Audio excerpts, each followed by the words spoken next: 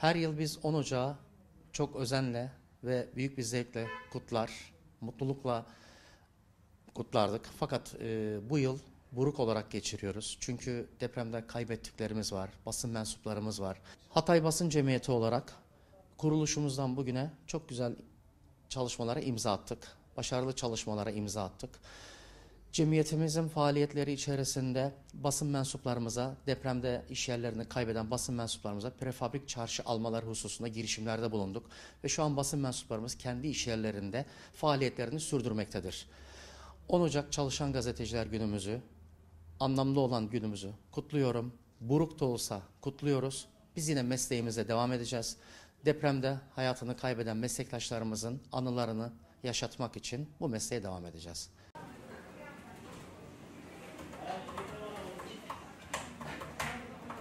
Ee, o kadar büyük acılar yaşadık ki e, inanın bundan anlatmaya kelimeler de yetmez.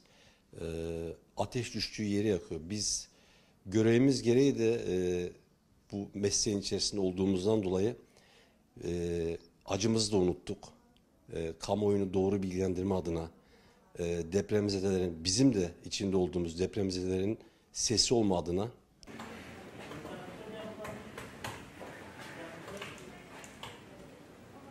bir başka acı olay da e, işini çok güzel yapan e, gazeteci arkadaşlarımızı da kaybettik maalesef aileleriyle birlikte.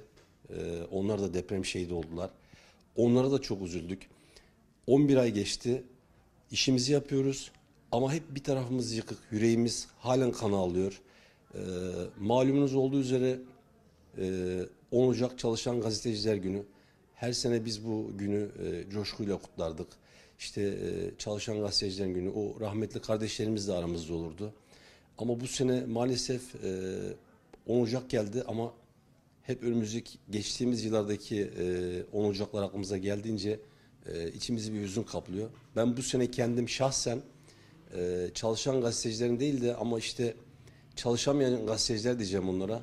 Rahmetli kardeşlerimizin mezarlarını ziyaret edeceğim. Böyle bir programla e, 10 Ocağı geçirmek istiyorum. Onun dışında e, görevimizi icra etmeye devam ediyoruz. E, devam da edeceğiz. Şartlar, koşullar ne olursa olsun biz buradayız. E, 11 aydır memleketten hiçbir yere gitmedik. Buradayız. Burada olmaya da devam edeceğiz.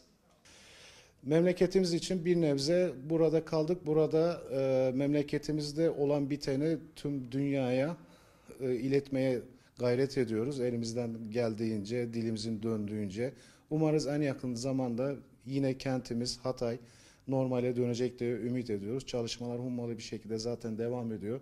Hükümet tarafından, devlet tarafından birçok çalışma takip ediyoruz zaten. En kısa zamanda inşallah tüm Hataylar, şehir dışına kalan Hatayları da kendi kentlerine dönmeye buradan da ilan ediyorum, davet ediyorum. Ofislerimizde yine dediğimiz gibi mesleğimizi icra ediyoruz. Burada e, hem gazete hem internet sitesi babında Allah'tan devletimiz var. Devletimiz bize sahip çıktı ve firapabrik iş yerleri verdi. İşimizi, hayatımızı bu şekilde daim ettiriyoruz.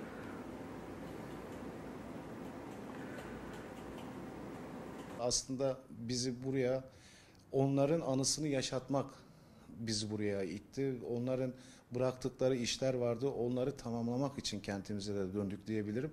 Hani onların elimizden geldiği kadar gerek bireysel gerekse Hatay Basın Cemiyeti olarak onların anılarını yaşatmaya devam ediyoruz.